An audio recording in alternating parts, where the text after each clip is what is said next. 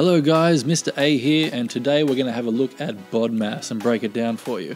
Now, whether you're in junior school or you're a parent helping at home with online learning, hopefully this will help you get through some of these.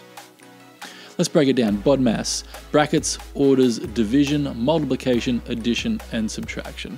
Now, any equations with multiple operations within the sequence will happen in that order. Okay, let's take a look. If you have brackets in any of your equations, anything in the brackets will have to be calculated first. So as example on the board there, 6 plus 5, regardless of any numbers left or right of the brackets, that will be calculated first. Followed by orders, uh, example there, powers to a number, a power of 3, 5 times 5 times 5, or 5 to the power of 3.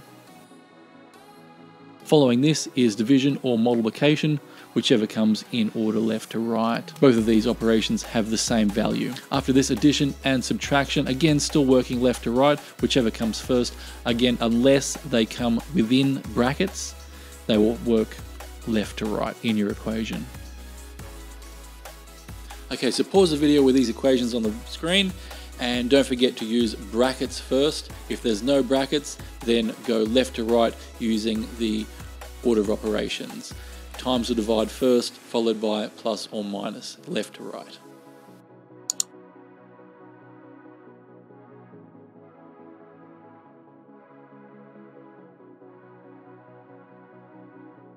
Right, answers are up on the screen there, guys. How did you go? Compare. Uh, obviously, you can check with the calculator.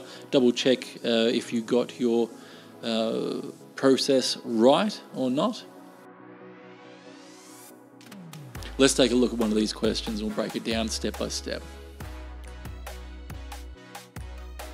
Okay, 4 times brackets 5 plus 3 equals. So we do the 5 plus 3 first, which is obviously 8, and then 4 times 8.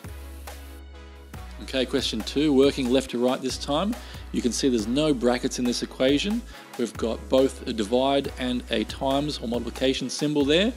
30 divided by 5 times 3 now we divide 30 by 5 left to right because there's no brackets there, so we can work left to right as I said. Uh, 30 divided by 5 is 6. Second step down the below, 6 times 3 equals 18. There you go guys, that's BODMAS, brackets, orders, division, multiplication, addition and subtraction, or orders of operation.